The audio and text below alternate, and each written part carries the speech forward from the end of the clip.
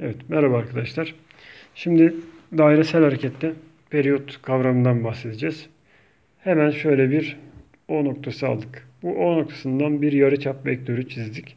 Şu noktadayız. Bu noktadan e, çıktık. O'ya eşit R uzaklığındaki noktalar kümesi boyunca hareket ettik. Ve nereye geldik? Aynı noktaya geldik. Yani bir dairesel bir yörünge izledik ve şu noktaya geldik. İşte e, A noktasından çıkıp tekrar A noktasına varmamız için geçen süreye biz ne diyoruz? Bir tur süresi diyoruz. Yani buna periyot diyoruz arkadaşlar. Periyot bir tur süresi dedik. Birimiz saniyedir. Şimdi bu konum vektörümüz, yarıçap vektörü, konum vektörümüz A'dan çıkıp A'ya geldiğimizde kaç derecelik açı tarar? 360 derecelik açı tarar. Bunu bir defa bilelim.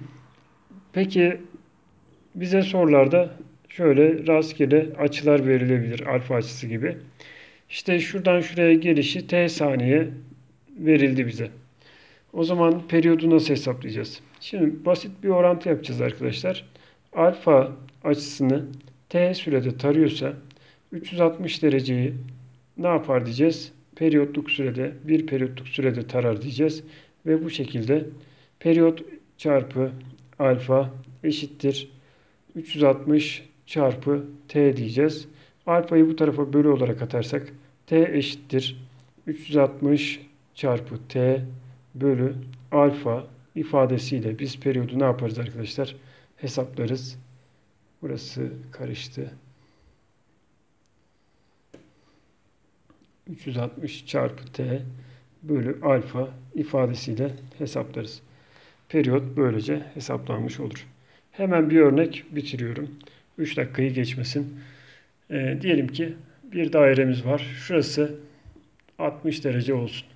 Bu 60 dereceyi diyelim ki t eşittir 2 saniyede taramış olsun. Buna göre t eşittir 2 saniye olsun dedik. Bunun 25 gibi gözükmesin. 2 saniye.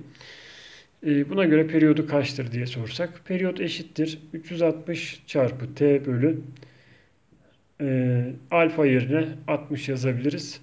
Dolayısıyla t yerine de 2 yazarsak 360 bölü 60 6. 2 kere 6 12 saniye yapar. 12 saniyede ne yapar arkadaşlar? Periyot e, bir tur atmış olur bu yarıçap vektörü. Evet böylece kısaca periyoda değinmiş olduk.